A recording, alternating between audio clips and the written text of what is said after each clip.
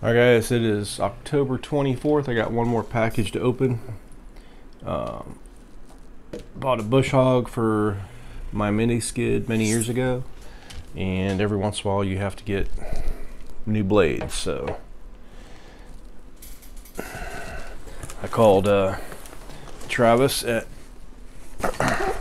Quick Attach and he's no longer there. So my salesman is no longer there. All right. I have a new representative.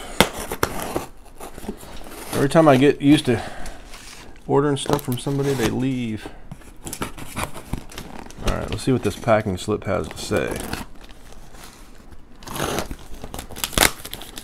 If you guys have a mini skid, uh, bush hog attachment is so handy.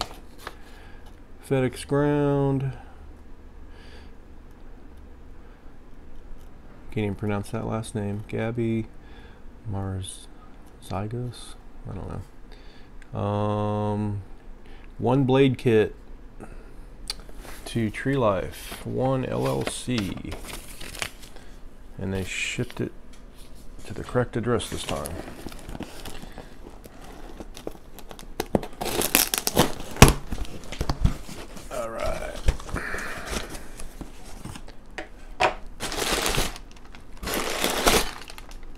Ooh. Ooh, ooh, ooh. They gave me two castle nuts. Aren't those cool? And some pins. And they gave me new bolts and washers. Woohoo! Then the pins go through there and the castle nuts. Another one. And more washers. Yay. And last but not least new blades. Oh yeah. They're not very sharp but look at them bad boys I have chopped cinder blocks in half and kept going. Of course, I didn't mean to. I just they're in the brush. Look at that sucker. And uh, they're about a hundred bucks a set, I think. But you can wear these down to like they'll get rounded. This these tips will. That's the first thing to go. This is where it strikes first. So mine are like rounded then you can flip it around and then round that side. So you get quite a bit of use out of these suckers especially if you don't hit a bunch of rocks and uh, stuff like that. If you're just cutting down saplings and high grass and weeds and stuff they last a while. But that was one of the best investments I ever made was a uh, bush hog for my mini skid because it is incredible how much material you can get down in a short time.